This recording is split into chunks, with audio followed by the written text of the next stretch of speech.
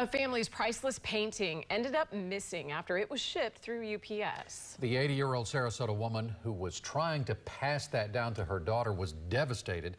That's when she knew she'd better call Behnken, and tonight Shannon is getting results. Keith, Jim, my message to UPS was simple. Look a little harder for this painting. And tonight, I'm happy to report that they did just that.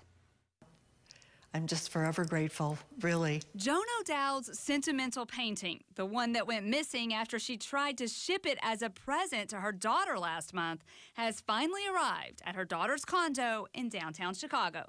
Because it means a lot to her. You know, she was three years old the day that, that we I acquired it, my husband and I, and she she said, I'm going to cry. And she said she just sobbed when she saw it. It was better than, than the first day we bought the painting. The feeling was much better than that. That's what a little BCB intervention can do. UPS first said the painting never left Sarasota, and an investigation could take weeks. Well, 24 hours after I got involved, UPS somehow found the painting and flew it to Chicago.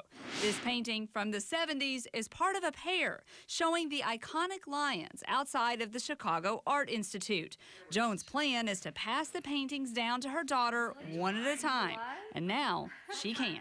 So thank you so much. We're so grateful. We really are. I'm thrilled. So eventually, my daughter will get the other painting and they'll be together again. How relieved are you that that painting is where it's supposed to be? I really thought I'd never, it, it would never be recovered. I'm so relieved. I can't tell you.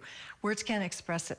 I really so what went wrong here? Well, a UPS spokeswoman tells me it's still unclear why this painting wasn't shipped the way it was supposed to. It was found in a UPS warehouse for lost items. And I will say, though, that once I reached the right people within UPS, they quickly found this painting and agreed to fly it to Chicago the very next day. Okay, but I don't want to be Debbie Downer mm-hmm. here. There yeah. is a second picture how are we getting it there to yes, where it belongs? As you can imagine, she's a little nervous about that. She's undecided on how she's going to ship this second painting, but she's hoping that this shipping mistake was just a fluke and she'll have better luck next time. But I'm sure it's going to be difficult for her to actually take it somewhere. Yeah, it'll be kind of a nail biter. All right, mm -hmm. thank you, Shannon. Yeah. And if you have a problem that needs solving, better call Behnken. The number is 1-855-BEHNKEN, or you can reach her at Facebook at WFLA Shannon.